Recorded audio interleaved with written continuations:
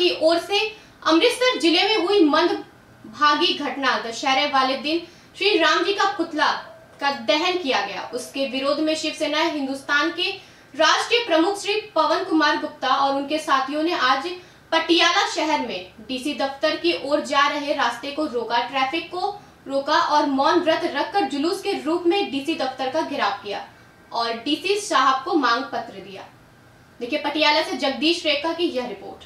ਉਹਨਾਂ ਨੂੰ ਜੋ ਪ੍ਰਾਪਤ ਸੁਰੱਖਿਆ, ਪ੍ਰਾਪਤ ਸਿਕਿਉਰਿਟੀ ਆ ਇਹ ਨਹੀਂ ਕਿ ਜਿਹੜੇ ਤੁਹਾਡੇ ਚਾਟੂਕਾਰ ਹੈ ਜਿਹੜੀ ਸਰਕਾਰ ਦੀ ਬੱਲੇ ਬੱਲੇ ਕਰ ਰਹੇ ਉਹਨਾਂ ਨੂੰ ਤੁਸੀਂ ਸੁਰੱਖਿਆ ਦਿਓ, ਉਹਨਾਂ ਨੂੰ ਜਿਰਸੀਆਂ ਦਿਓ। ਔਰ ਜਿਹੜੇ ਲੋਕ ਪੰਜਾਬ ਦੇ ਹਿੱਤਾਂ ਲਈ ਲੜ ਰਹੇ ਪੰਜਾਬ ਦੇ ਲੋਕਾਂ ਦੀ ਆਵਾਜ਼ ਹੈ, ਜੋ ਅੱਤਵਾਦ ਵਖਵਾਦ ਦੇ ਵਿੱਚ ਬੰਗਾਰ ਹੈ, ਉਹਨਾਂ ਦੀਆਂ ਜਾਨਾਂ ਨੂੰ ਤੁਸੀਂ ਖਤਰੇ 'ਚ ਪਾਓ।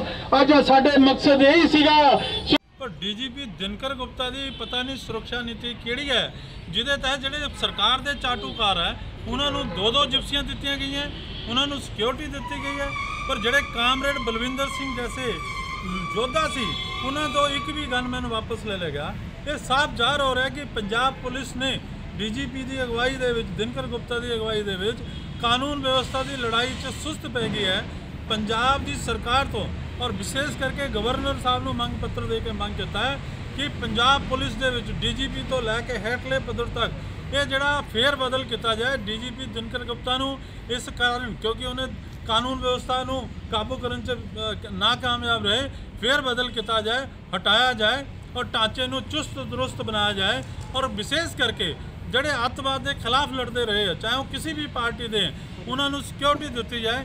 ਜਿਵੇਂ ਮੈਨੇ ਡੀਜੀਪੀ ਦੇ ਖਿਲਾਫ ਆਵਾਜ਼ ਬੁਲੰਦ ਕੀਤੀ ਔਰ ਦੱਸਿਆ ਕਿ ਹਨੀ ਮਹਾਜਨ ਦੀ ਹੱਤਿਆ ਇਸ ਕਰਕੇ ਹੋਈ ਕਿਉਂਕਿ ਇਹਨਾਂ ਨੇ ਸੁਰੱਖਿਆ ਜਾਣਬੁੱਝ ਕੇ ਹਟਾਈ, ਤਾਂ ਮੇਰੀ ਆਵਾਜ਼ ਤੋਂ ਖਫਾ ਹੋ ਕੇ ਉਹਨਾਂ ਨੇ ਮੇਰੀ ਸਿਕਿਉਰਿਟੀ ਜਾਣ ਕੇ ਹਟਾ ਲਈ ਹੈ। ਤੁਸੀਂ ਸਾਰੇ ਜਾਣਦੇ ਹੋ ਕਿ ਸਿਕਿਉਰਿਟੀ ਹਟਣ ਕਰਕੇ ਬਲਵਿੰਦਰ ਸਿੰਘ ਦੀ ਹੱਤਿਆ ਹੋਈ ਹੈ ਔਰ ਇਸੇ ਤਰ੍ਹਾਂ ਮੇਰੀ ਹੱਤਿਆ ਕਰਾਉਣ ਦੀ ਵੀ ਸਾਜ਼ਿਸ਼ ਹੈ।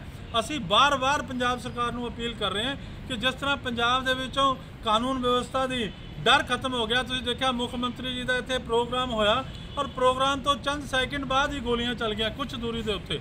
ਯਾਨੀ ਕਿ ਬਦਮਾਸ਼ਾਂ ਦੇ ਵਿੱਚ, ਗੁੰਡਿਆਂ ਦੇ ਵਿੱਚ, ਗੈਂਗਸਟਰਾਂ ਦੇ ਵਿੱਚ ਕੋਈ ਖੌਫ ਨਹੀਂ ਹੈ। ਅੱਜ ਅਖਬਾਰਾਂ ਦੇ ਵਿੱਚ ਦਿੱਤਾ ਗਿਆ ਹੈ ਕਿ ਕਾਮਰੇਡ ਦੀ ਹੱਤਿਆ ਕਰਨ ਵਿੱਚ ਗੈਂਗਸਟਰ ਸੀਗੇ।